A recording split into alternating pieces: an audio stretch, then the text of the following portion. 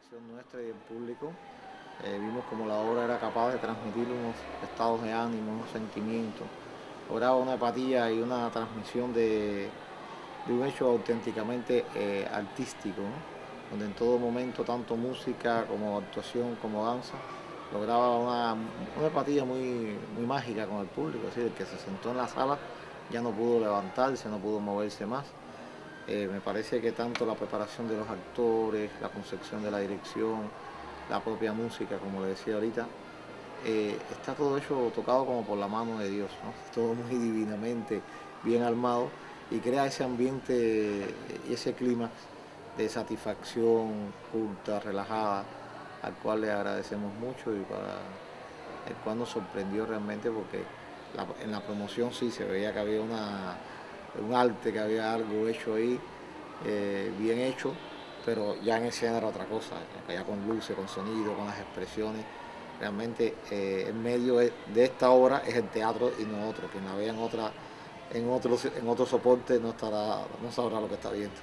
Porque realmente esa energía se transmitía muy bien, muy bien, muy bien a los espectadores, al público y fue increíble, no se movía nadie en la sala, el público cubano que están inquietos y, todo el mundo salió muy contento y muy feliz con la Los felicito y bueno, tienen las puertas del Teatro Terry, que es una institución centenaria, 120 años, en las cuales han pasado todas las grandes figuras del teatro mundial. Bueno, hasta Barba estuvo aquí para hablar de lo más contemporáneo, por ejemplo. Sí, Margarita Sigu. Margarita Sigu, Sara Berna, eh, bailarinas famosas, músicos excelentes.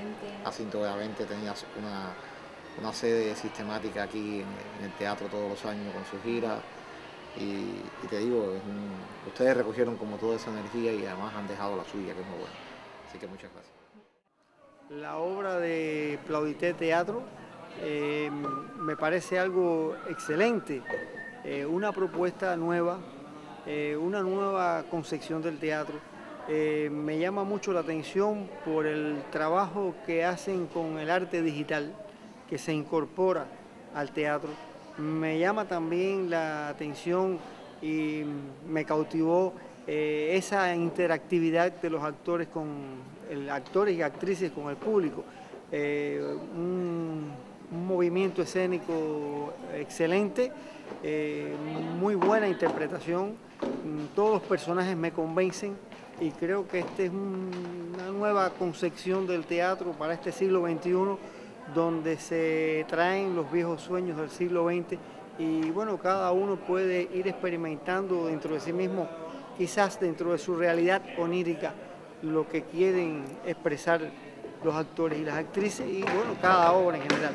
Mi deseo que pronto vuelvan a, Cuba y a Fuego porque realmente ha sido un éxito y en mi opinión personal fabuloso.